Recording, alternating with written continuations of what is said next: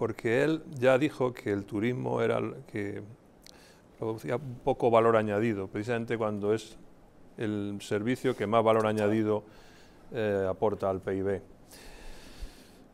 Lo que pasa es que él, eh, dentro de que es un analfabeto, eh, siendo ministro de España, no puede decir semejante gansada.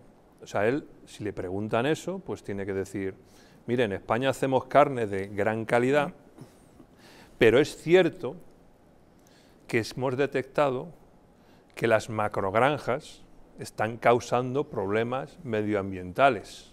O sea, el problema no está en la calidad de la carne, está en la contaminación y en lo que sufren los que viven alrededor de esas macrogranjas.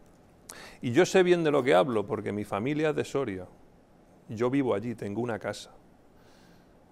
Y las macrogranjas que han instalado en Soria, lo que han producido es la estampida de los vecinos que vivían allí, porque no hay Dios, con perdón, que aguante los olores, aparte de todo lo que están produciendo en las aguas de los barrancos, riachuelos, etc. Ese es el verdadero problema. Y si este analfabeto quiere sacar eso a debate, no puede hacerlo en el Guardian, tendrá que hacerlo en el Consejo de Ministros y legislar o, hacer reales decretos o lo que sea. Que ya lleva dos años. ¿eh? Eso es lo que tiene que hacer.